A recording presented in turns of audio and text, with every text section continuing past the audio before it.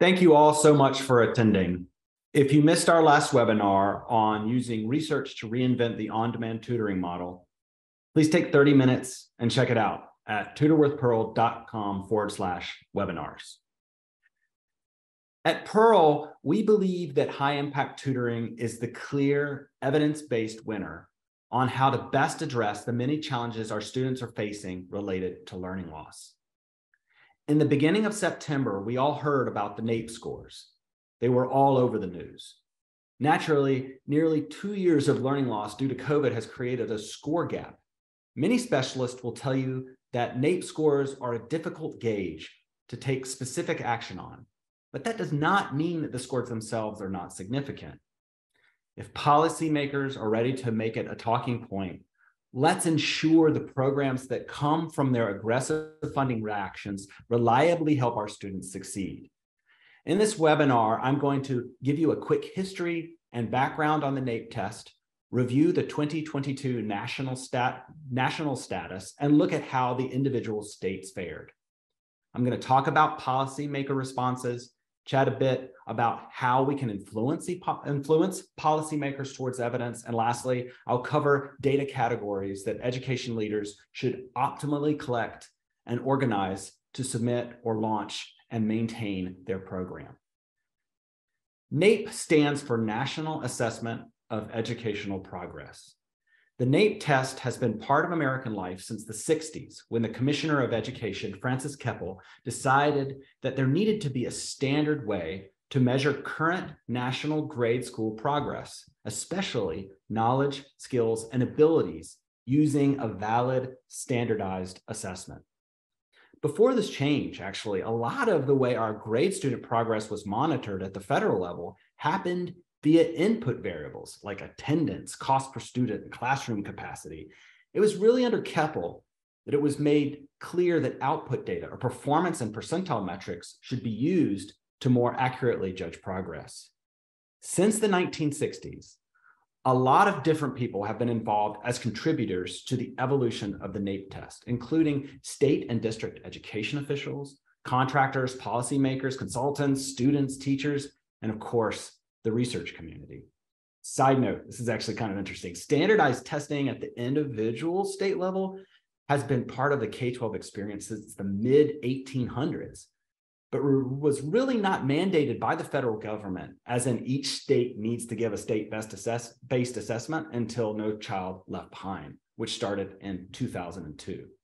Today, under ESSA, the Every Student Succeeds Act, the states have a lot more autonomy regarding education standards, which is why we now actually have one state, Nebraska, that does not give a standard state test. The test is given to a randomized group of fourth graders and eighth graders in all 50 states. In total, we're talking about somewhere around 450,000 students across 10,000 schools or so. And it covers both math and reading on a scale of zero to 500. As you've all heard, this year's scores were pretty bad. But I think that in many ways, we were all expecting to see a strong national drop because of COVID. That being said, scores have been in decline over the years prior to COVID as well. Actually, both math and reading scores have been heading down nationally since 2012. So let's talk about math versus reading. Reading progress is difficult skill. It's a difficult skill to place fully on the shoulders of our schools and teachers. So much of how well kids learn to read is based on home life were they read to as a baby? Were books around? Were books even being read by the parents? Math, on the other hand, is most often, but not always, in the hands of the teachers. Math skills and knowledge are most often foundational. With the right scaffolding in basic math, students are afforded the necessary foundations to progress into higher math subjects. Across the nation, we saw pretty devastating results from both fourth graders and eighth graders in both math and reading. There was a three point decline in average reading scores for fourth and eighth grade compared to 2019, which was the last time the test was administered. Math scores were even worse, with fourth graders decreasing by four points and eighth graders decreasing by eight points. The eighth grade math slide is particularly scary, as that it is a critical transition point to higher math like algebra, geometry, and trigonometry. Also, compared to 2019 NAEP scores, the new scores had quite a few more students scoring what is called below basic, which means that they are much more likely to have poor oral reading fluency and word reading skills. As is sadly almost always the case, the NAEP scores also revealed a much more significant decline for students that were already performing poorly. And in devastating areas of the country, particularly amongst communities of color with generational inequities in place, the scores outlined an ever deepening divide. Fourth grade math declined in every state, with reading scores declined in 30 states. The scores with the steepest math declines included Delaware, Virginia, and DC, followed by New Mexico, New York, and Maryland, which each lost 10 points on average. Fourth grade reading declines were not as bad as math, with Virginia at negative 10, followed by Delaware at negative 9, and DC, Idaho, Oklahoma, and West Virginia at negative 8 each. Keep in mind that these are decline numbers, not scores, with some states starting with pretty low numbers from 2019. Nonetheless, the 2022 fourth grade reading scores were on average the lowest scores we've seen since 2015. Eighth grade math scores were the most alarming across the board, with more than a third of the students scoring below the basic level. This is a 7% increase to the below basic average. The largest declines on the eighth grade math assessment were in Oklahoma at negative 13, Delaware and West Virginia at negative 12, Maryland, Massachusetts, Minnesota, New Jersey, and Pennsylvania at negative 11. Again, this is super scary as kids that are significantly behind at this point in their education progress may never be exposed to higher math, which will significantly decrease the probability of them entering into jobs in science or tech. Similar to what we saw in reading versus math scores in fourth grade, eighth graders fared quite a bit better than read in reading most of the country kept pretty similar reading average scores on, or improved slightly compared to 2019. Exceptions included Maine that dropped eight points, Delaware, Oklahoma, Kansas, and Oregon dropped seven points, and then North Carolina, West Virginia, and Missouri, also Connecticut, declined six points. Now let's talk a bit about policy. Across the nation, governors or governors running for office at the time took this moment to either celebrate the fact that they had not lost much ground, pointing to opening schools early or summer programs, or they berated their opponent saying that their opponent was failing students. In some states, there were announcements like Virginia, where a new program was revealed to partner HBCUs and the Urban League to supply additional tutoring to the state. In Delaware, House Bill 304 was signed, which mandates reading tests to be given three times a year to kindergarten through third grade to help identify reading deficiencies. In many ways, the news was just the political maneuver of the week, either doubling down on current systems saying they are working or reinforcing the failures of past decision making. Through all the fog of news and data, what rang true was that our students have not fared well and something has to be done. So, we know that students are way behind. What can we do about it? First of all, we have to help create more individualized learning pathways. And we have to address the loss of academic progress with strategies we know work. Instead of continuously blanketing our districts with programs that are opt in and frustratingly ineffective, we need opt out academic support. If you're going to do on demand homework help, make it opt out and make it homework. Our students that are behind enough to need help with reading and math should be in true high impact tutoring interventions that follow the National Student Support Accelerator's tutor quality improvement system as closely as resources and logistics will allow. If these programs are going to be made sustainable, literally become part of the K 12 experience into the future, as I believe is an imperative, we have to start building better interoperability between our tutor data systems and district systems.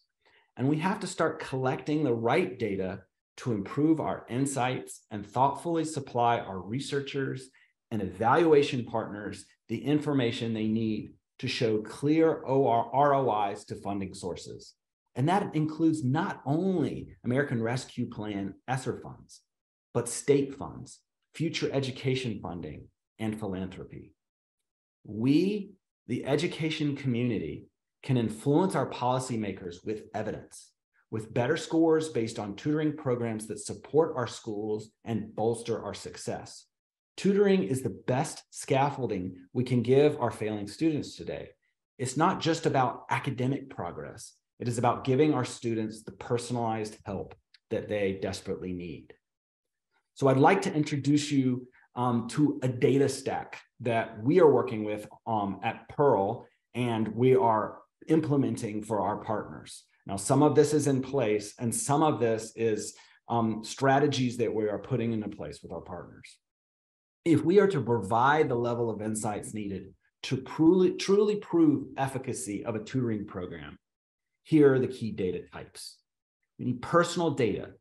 It's the data we have about the students and also the data we have about other stakeholders like tutors and parents.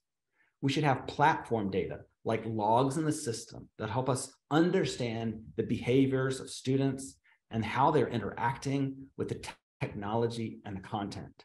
Reporting data should be a combination of comprehensive post-tutor session reports, social emotional insights, surveys, pulse checks, and other types of qualitative inputs. A strong tutoring program should begin with diagnostic assessment and have at least a strong, agile formative assessment strategy. Lastly, as we move into the future, the opportunity to create data from media when sessions are happening virtually is also critical. This includes using speech to text for transcription, sentiment analysis, microexpression, and on and on. The AI is becoming so incredibly compelling. Here we see how the tutor data can meaningfully overlap with other data categories, like district data and data about the community. There is also the opportunity to bring in additional insights from other data sources like state or national anonymized data as a way to better understand percentiles and how your program is standing up against other programs around the state or the nation.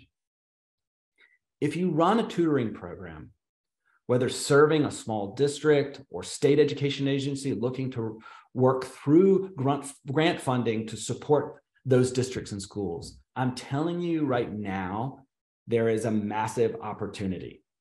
The opportunity is to double down on what we know works and ensure that you are collecting the data to prove that your program worked via a third party evaluation, preferably a highly reputable academic institution.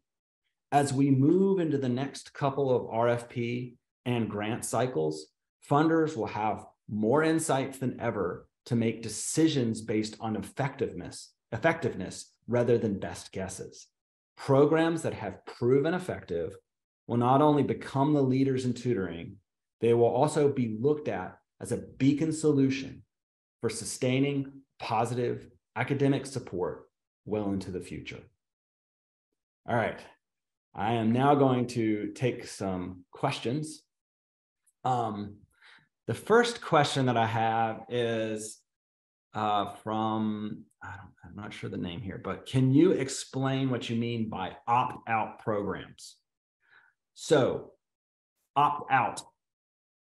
When a student has the ability to decide whether he or she is going to participate in academic support, there is strong evidence that shows that they typically do not opt in. So if they're already opt if they're already opted um, into the program and would have to opt out, the chances are much greater that they will participate. So one of the ways that our company is working with our partners to solve this is any chance we can to roster the students so that all of the students are participating in a program then the academic support itself can live within the context of where they are at any time virtually. So if there's tutoring available, they can easily access that tutoring.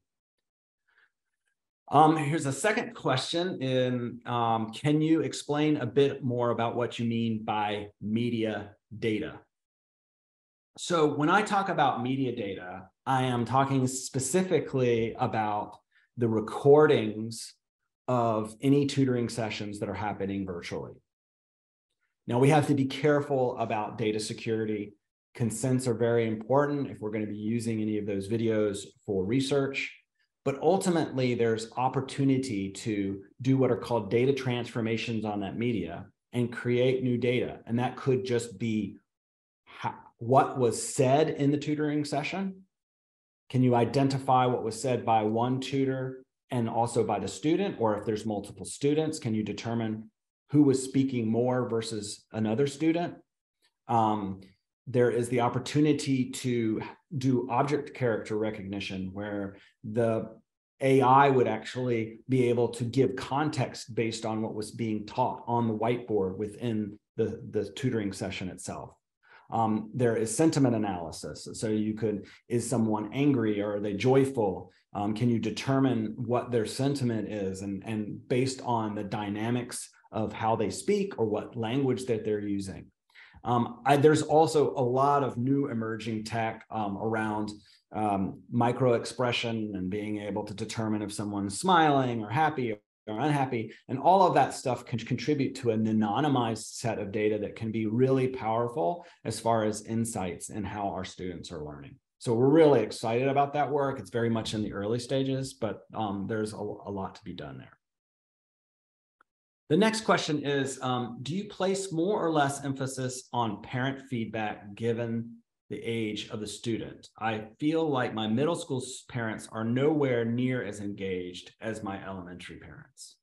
So in general, I think that there's a lot of really interesting work being done here. I know that Alex Cortez at um, Bellwether um, is doing a lot of work in this space, looking at parent engagement um, there's uh, a couple of programs around the country where they're relying less on, you know, IEPs or the schools prescribing uh, tutoring, and they're going directly to the parents and asking the parents directly if they could um, be supportive. The data is pretty clear that when you have an engaged parent, um, and that parent is reinforcing and making sure that attendance happen, that you're going to have much better um, outcomes. Um, that being said, I agree. I mean, I think once you get into later, like your middle school years, it's much more difficult for a parent, particularly to help with math. Um, but if they're behind in reading, the parent can be really supportive. Uh, and, and as much as we can, we have a parent portal. Um, we want to drive our parents to leverage that portal. Our portal allows for our parents to be able to see the scheduled sessions. It allows them to see the sessions that have occurred in the past. Um, all of our sessions are recorded so they can watch the recordings of those sessions. And as much as our parents are engaged, we really think that that helps the overall design of the program. Um, the next questions, uh, are you, are there any um, commonalities amongst states who performed, underperformed in regards to the NAEP scores? I mean, this is a tough one. I looked at, um, I looked across the country. A lot of the states that um, have sort of always traditionally performed pretty well, um, continue to perform pretty well. Good example of that is Massachusetts. Massachusetts has always um, done pretty well in general. And their scores, although they had a couple of instances where they had a little bit of a decline in certain counties, um, ultimately they they didn't miss much um, in regards to the, the scores. Um, and then on the opposite end, you had states like um, New Mexico that have traditionally scored very, very low. And across fourth grade and eighth grade, both math and reading, um, New Mexico had the lowest scores um, on in each one of those categories. So I know um, both of those states have their own um, approaches to learning loss. New Mexico has just implemented a new program um, for on-demand homework help. We'll see how well that performs for them. Um, but in general, you know, the states that were already performing poorly before COVID just saw much more, a, much deeper um, um, dip than we would typically see for between tests. Um, in regards to resources, someone was asking about resources. Um, obviously we always um, point to the national student support accelerator. There are so many great um, uh, tools that you can use on the national student support accelerator website. Um, one is an actual district playbook that will allow you to kind of reference best practices in regarded in regards to um, implementing tutoring within your district. Again i just can't help but con- you continue to harp on this idea that the more you can stick to the tutor quality improvement system, um, those standards will really help um, provide you with that infrastructure you need to perform um, tutoring in the way it should be performed. Um, in addition to that, there are other, um, there is a, the TQIS, um, there's a PDF that we can make available, um, easily available. You can find it easily on the National Student, Student Support Accelerator website, or you can um, easily just Google it and, and find it. Um, that those, that TQIS, uh, it's, it's, it's really cool because for each one of those design principles, um, there is the relative, you know, what is the emerging evidence? What evidence is there? Is there third party or has there been really like randomized controlled trials? How strong is the evidence for each one of those? And some examples of that would be, you know, learning um, in the school, learning in person, all of that drives better attendance, of course, using high quality materials, consistency of the tutor. These are all examples of things that we know work. And obviously having a consistent tutor as in the best world, you'd have that consistent tutor at least three times a week on the subject that they're behind on. Um, using uh, evidence-based processes and, and what we know about tutoring today that works, and then you know as much as possible collecting the data you need to prove that what you did um, was effective is how you're going to make your program sustainable into the future you know, Pearl as a company is looking well beyond the American Rescue Plan ESSER cliffs. And we're saying, what does the world look like when tutoring is a part of the K 12 experience? And we're just big advocates for that as just a fundamental change across the country. So, thank you so much uh, for attending today. Uh, we plan to make notes uh, the video and research related to today's webinar available to all of you. As we always do, we try to get that up within 24 hours. So if you've got friends or colleagues that missed today, who you might think will find would find this uh, helpful, please um, send them the link. And if you're already planning to participate in serving government funding tutoring programs and are looking for a technical partner, an all-in-one platform to implement your program, please schedule a time uh, to chat with me via the link posted in the chat. Um, this will link will also be sent out to everyone via email following the webinar. I hope you have a great rest of your afternoon and, and thank you all the educators on our um, that uh, attended today or are watching this. We're really excited about the work that you're doing. I know it's tough, um, but keep up the good fight and we'll be there to back you up. Thank you so much. Have a wonderful weekend.